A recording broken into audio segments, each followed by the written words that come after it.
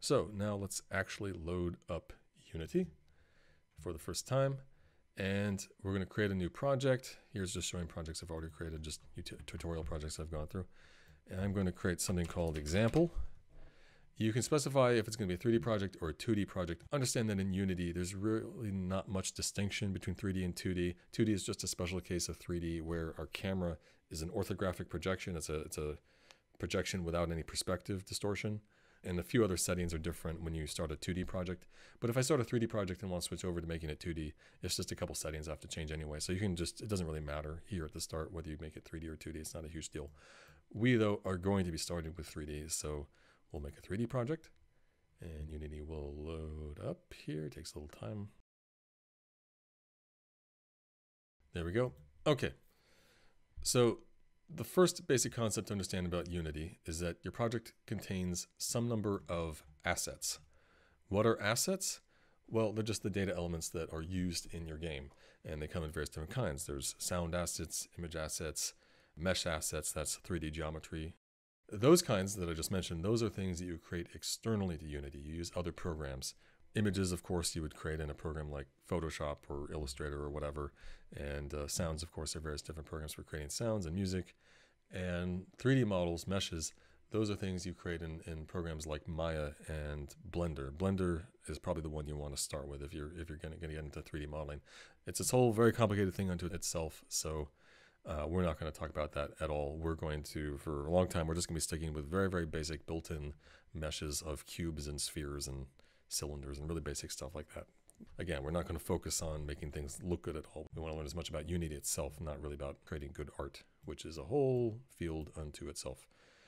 Anyway, so a lot of kinds of assets you'll create external and you want to bring them in. And let's see, I'll just, uh, what do I have? I have this duck. I'm going to drag that into Unity here, make an asset out of that. And now what's happened is in my project here, I can open up in Explorer, my project, and here's my project folder. And in your project folder, you have these five subfolders. Assets is where your, all your assets go. And there's the image file I just brought in. And it now has an associated meta file. Unity will generate these meta files for every asset you bring in. And what that meta file is, we can actually just open that up in a text editor. And what it looks like is, um, well, one thing here is that for every asset you bring in, Unity wants to have an associated ID, a unique ID for that, a GUID for it. So just randomly generates this thing here. And then it has other information about the file. And this is describing how the asset's going to get imported. If we go back to Unity and click on the asset, you have all these options. It depends on what kind of asset we're talking about. In this case, it's an image. So there's various different ways like you would want to have the image compressed when it's brought into your project and stuff like that. Um, so that's all described in the meta file. And be sure not to delete the, the meta files. You want to keep them around, make sure they have the same name and stay in sync with these files. So, I mean, we could it's up to us exactly how we structure stuff in our asset folder. We can just create random, we'll just call it images, and I'm gonna move these into there and just be sure to bring move them together. And as long as you do that, uh, Unity should be fine with it. Though, actually, I'm not sure. Maybe that will break some things because now the path to that asset has changed. I think what you really want to do, here, let me go back actually. Let me undo the move. Oh, notice that uh, directives themselves have meta files. Uh, yeah, actually, I think the thing to do you really want to do is to make sure that um, what's going to happen in your project is things in your game will reference your assets, and you don't want those references to break when the file path changes. So if you move something from one directory to another or change its name, you don't want to have those references break. That's what the GUIDs are about. So instead, if you want to rename things or move them, you should do so inside Unity. So now if I rename this to Mallard for Mallard 2, if we go look at the directory, the meta file, its name has been updated in sync, so it's no longer mallard2.jpg, it's mallard with no number two. If I were to move this into images here in Unity, also it's moving the meta file along with it. And I don't know if anything, I don't think anything in here changes, but yeah. Eh. Anyways, just to be safe, you should really only move and rename stuff in your assets directory. That, that'll prevent the, the references to assets from breaking. So an image is an example of an asset that will be importing in from an external program. But then there are some assets that you'll be creating directly inside Unity. For example, there's what's called a material. I'll just leave this with the default name, new material. And the inspector here, I, I select the asset here and it shows all the options about the material. What is material? Well, A mesh, as I described, is it's the wireframe of a 3D object. It's just the vertices in, in three-dimensional space and the edges that connect them. It's not the actual texture information about how the polygons get filled in. That's what a material describes. A material is all the information about what should be drawn on the surfaces and how they should be drawn. So we can specify textures. We can draw the so-called albedo. That's the main texture you see on an image. So here, let's just set that up. Uh, I can drag this here. And okay, so now this is a material which is referencing the texture such that when you apply this material to a mesh, that texture will be drawn on the surfaces. And how the coordinates of the texture match up with the the geometry, the, the various polygons that make up the mesh. That's something you generally arrange and match up in 3D modeling packages like Blender, as I mentioned. Um, so there's a lot of complications to that, which we won't go into as of yet, if if ever. Uh, but anyway, so we can also like just apply on the material. We can say oh, everything here is red, so it's going to tint material to being red. You have controls over things like that. Uh, you have controls over in how uh, lights are supposed to affect these surfaces. Lots of options, and we have various rendering modes, which again, all these details we won't get into uh, as of yet. But that's the idea of a material. It's, it's a little strange because you, you might assume naively that, oh, well, I have my meshes and I want to apply textures to them, so I just uh, associate the texture with the mesh but no, we create these materials, apply the materials to the meshes, and the material describes what the surfaces should look like. And there's a lot of options about how exactly we want the surfaces to get rendered. So again, a material is a kind of asset we create inside Unity. There are many other kinds which we'll get to in time. Uh, one, for example, C Sharp script. So this just creates a, a file called .cs. And if I double click this, it'll open up the code in Visual Studio. You can configure that in Unity if you want to use other text editors. Understand that, um, yes, Visual Studio has a C-sharp compiler. And when I edit my code and save, it'll compile my code or attempt to compile my code. And here's a comp compilation error. And it'll tell me there's a problem. But uh, Unity has its own variant of the mono C-sharp.net runtime. So what you compile in Visual Studio is not the, the compiled code being used in here. So it's actually, in a sense, it'll just be compiled twice when we save here. Regardless, it's nice to have Visual Studio, just a good environment for, for writing C-sharp code. And Visual Studio these days is practically free. For a long time, U Unity by default would install MonoDevelop on your system, but very recently they moved over to now Visual Studio is installed by default and associated with, with Unity. So this is the, the default choice going forward. So we'll come back to how to write your code later. But anyway, so this is a kind of asset. It's it's a file that sits in your assets folder. It has an associated meta file, and it's something that certain elements in our game can make reference to, as we'll, as we'll see. That's most everything we need to, to know about assets for now. We'll talk more about them later. And that's everything under the project window. The project window really probably should just be called the assets window, but they call it the project window. And then up here, what's called the hierarchy window, that's showing us all the game objects in our current scene. And, by the way, if you don't have Unity looking like this and you want it to look like this, this is what I recommend. Uh, go, come up to layout, select 2 by 3 It'll arrange things like this, but you can just drag this down, dock it there. That's what I prefer. And I like to have the console open. So I like to dock that down here. That's my preference. That's what I find generally most useful. But this is all customizable and it's up to you. Here it's showing my current scene. That's what this untitled thing is. And the untitled currently has two game objects in it, one called main camera, one called directional light.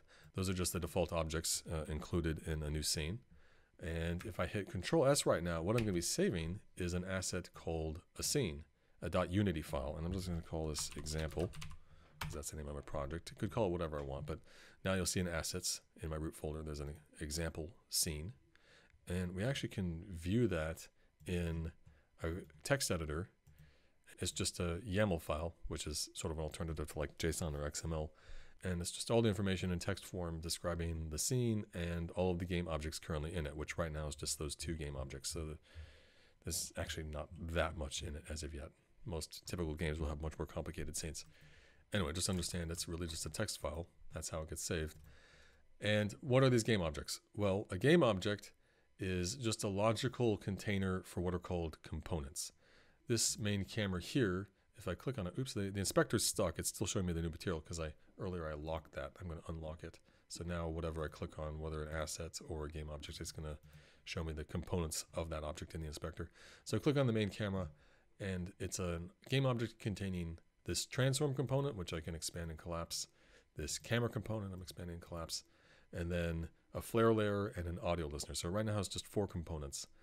And you can see the list of all the component types uh, under here. There's many different kinds of things for lights, for physics, for particle effects, meshes, uh, rendering stuff, just a whole bunch of stuff, um, which you'll learn in time. So in this particular case, the transform component, that's the one component that every single game object is going to have. If I right click here and create a new empty game object, uh, it'll have by default the name game object, but I can rename it to whatever I want. I'll call it Fred. And uh, Fred, by default, this new game object just has a transform component. Every game object has to have a transform component, whether it's going to use it or not. It's a little strange. The transform is the position in 3D space, it's a rotation in space, and a scale. Those nine coordinates together are the transform of an object. And everything has to have it whether it's going to be used or not. The directional light, for example, um, a directional light is a kind of light that casts on the scene as if from a very distant large source of light, like the sun, and all the rays of light shine down in, in parallel. And because of that, because it, it's logically a light that's in effect infinitely far away, it doesn't matter where you position the light, but it is casting rays in parallel. That's what it's kind of showing you with the icon. These when I select my directional light, it's showing these uh, yellow beams and I can rotate the object and that is relevant. That part of the transform actually affects the lighting of the scene. But if I translate it around, if I move it up and down, left and right, that has no bearing. So it doesn't matter where we position this thing, but it doesn't matter how we rotate it. So there are cases like that where the transform may be ignored in its entirety, or maybe only some aspects of the transform are relevant.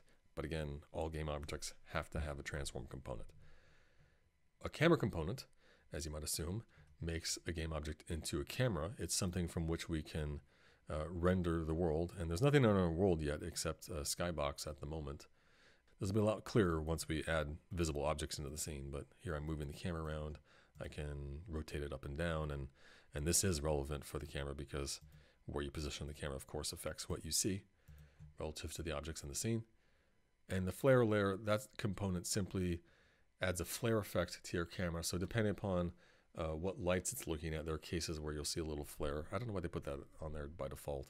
And audio listener, that's a component which um, picks up sound coming from audio source components. So other objects you're going to attach audio source components to. And from those audio sources, we can play sound assets. And based on proximity, an audio listener component, which by default is attached to our camera, is going to pick that up. And generally, you want to hear stuff from the perspective of the user's view. So that's why it's generally attached to the camera. Fred, we have this empty game object. Let me move the directional light out of the way. It's right up in our faces.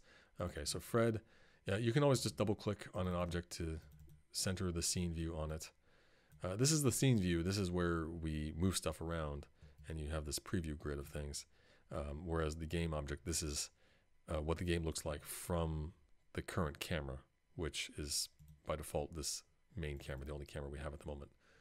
Uh, anyway, so Fred, we can add components to it. Let's make a visible mesh. And to make a mesh we can actually see, we need two components. We need what's called a mesh filter, and we need a mesh renderer. The mesh filter is where we just specify what the mesh is, and we don't have any mesh assets yet in our project, but there are these built-in meshes, cube, capsule, cylinder, plane, sphere, and quad. We'll just make a cube. And right now, our cube is rendering as just pink. That's Unity's way of making sure that a mesh stands out. If it doesn't have an associated material, you want to catch those mistakes so that you can fix them. So that's why it's bright pink or magenta, I guess you would say. So we can apply though a material to it, and we have a material here, our duck material, which I've shaded red. Let's get rid of that red tint so it looks like a duck. And we want to just associate that onto the mesh renderer component of Fred. Uh, and we can just do so by dragging here. Or I could have done the same thing, I think, by dragging to, Fred. I think that also would work. Or if you look at the components under materials, in some cases, a, mesh actually might have multiple materials applied to it. Um, it's This is an array component. That's why it, it expands and collapses like this. And you can specify a size. So we can have like three, and then we can apply three materials. I don't think it would actually do anything if we applied three different materials because the way the mesh is, uh, its geometry is defined. there's only one material it's expecting, so I think the other two would be ignored. Anyway, let's just set that back to one, so it has one material. And this is where we can also apply the material. We can come here, select from materials here. Like there's this default diffuse material, which just makes something white. But let's go back to the duck and we can directly drag from assets to here. So that's another way of applying the material to the mesh. Just be clear here, we have two components on our, on our Fred game object. The mesh filter, which specifies the mesh, mesh renderer, which specifies uh, various options about how lighting should affect the mesh. We'll just go with the defaults for now. And also it's where we specify what materials are being rendered on the mesh. So why are these separate components, you may be asking? Why not just have one component, which is both the renderer and the filter? Well, there are actually cases where maybe you don't necessarily want to have a mesh be rendered. You don't want to have it visible, but you want to use its geometry to define, like, say, a collision box or something like that. So you might have a mesh filter without a mesh render. I don't think it ever makes sense to mesh render without a mesh filter. I don't know. I think you might even get an error if you delete this. Let me see what happens. Uh, remove component. And I'm going to try and play the scene. Is it going to accept that? Well, we don't get any errors, but we definitely don't get anything rendered. So let's just undo that. Put the mesh filter back. Okay, and now if we render the scene, okay, then you see, there it is. Um, this is actually the game being played, and it looks just the same as when we didn't play it, but that's just because we have a totally static game that doesn't do anything as of yet. It's just rendering from the camera and nothing else is happening. Let's move that camera around so we can see it in action. Move it closer to our duck move it down. Uh, something like that. That's good enough. Whatever. Okay. So that's a basic example of a game object. Again, a game object is really just a logical container for some number of components, and it's the components that really define what kind of game object that is. There are some cases where a component you can only have one instance on a particular game object. Like I don't think you can give a, a, a game object multiple mesh renderers, I believe. Let me try that. Yeah, we get an error message if we try and add a second mesh render to this object because it already has one. Um, there are cases where if you have one kind of component, you can't have a different kind of component. Like I think under um, tile map, can I add a tile map render? No, yeah, because we have a mesh render, you can't also have a tile map render. That just doesn't make sense. There's a conflict. There are certain cases where if you add a component, other components are also required.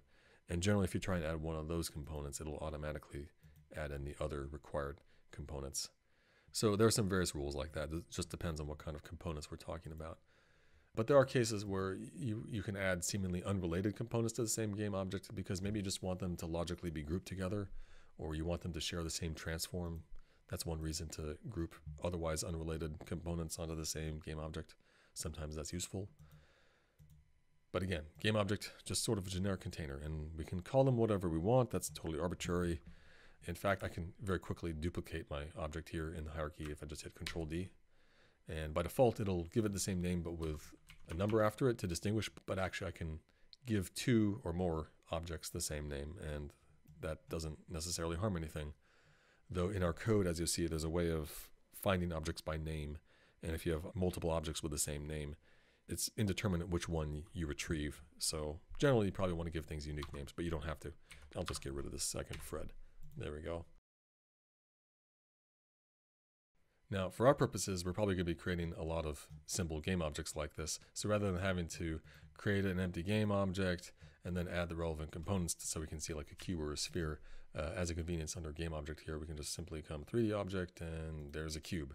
And it automatically adds in the cube uh, mesh filter and a mesh render using the default material at the start. So it just looks white, but we can quickly change that with whatever material we want. I'm going to undo that and keep it white. It also adds this box collider. We'll talk much more about colliders later, but uh, understand for now that uh, what a game object looks like doesn't necessarily correspond to how it collides with other things. By default, the objects that you render don't collide with anything else at all. They'll just pass right through and render on top of each other. If you want to detect when things collide, that's where colliders come in, and then we'll talk about that when we talk about physics. So we're not going to do things with collisions at the moment. So I'm just going to actually remove this component. But it's, it's actually kind of harmless right now, so it doesn't really matter. Let me also get a sphere in here. Okay, I don't want to move that over. Actually, what I'm going to do is I'm going to reset this component. I'm going to reset it, and it just has the default values. So it's going to reset back to the origin. Uh, you can, uh, if I modify this stuff, the rotation, the position, you can reset the, the uh, position rotation independently. I'm just going to reset the whole thing so it's back at the origin as we see down there. And we'll do the same for the cube, so they'll be overlapping each other. Uh, just reset the whole thing. Uh, center on that in the view by double clicking. And let's make the sphere bigger so that it pokes out. So we can see it poking out of the, the, the cube. There we go. Okay, and to make that stand out clear, I'm going to create another material where, well, I could just use the duck material and apply that to the sphere. Okay, now you can see what's going on, I think. And if we just pan down here, you can see it's like poking out through this cube. Anyway, so you can just see there's two distinct objects there. Oh, and one small thing I want to make clear here in the inspector view is showing us all the components of this object. And it sort of visually implies that the material here is a component, but it's not a component. It's, it's an asset, and it's being referenced by the mesh renderer. But as a convenience, um, the inspector is showing you all the materials being referenced by the components of this object. It's just a convenience. So you can come down here and look at the materials being applied to this object and perhaps mess with these values if you so choose. But this is really just an asset being referenced by one of the components.